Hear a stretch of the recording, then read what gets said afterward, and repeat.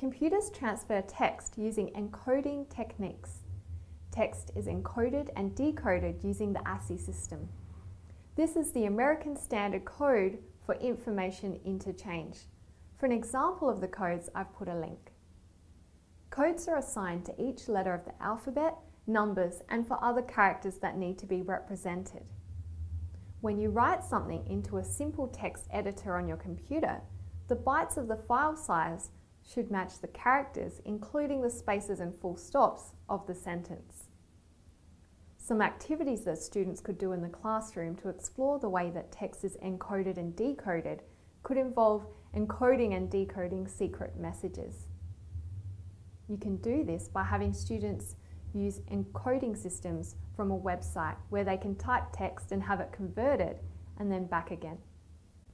Alternatively, students could work with a coding system that you have created to decode a secret message from you.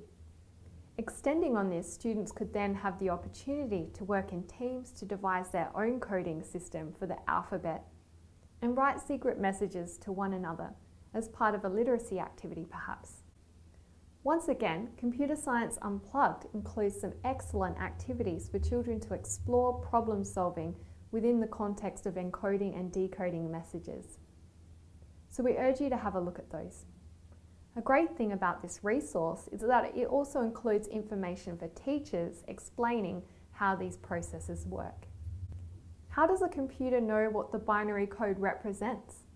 For example, as we've discussed, it could represent an alphabet letter, a pixel color, a sample sound, or an instruction. The computer knows how to interpret the binary code because of the context. And this is where the data was sent. This will be explored in more detail in input and output in a later unit.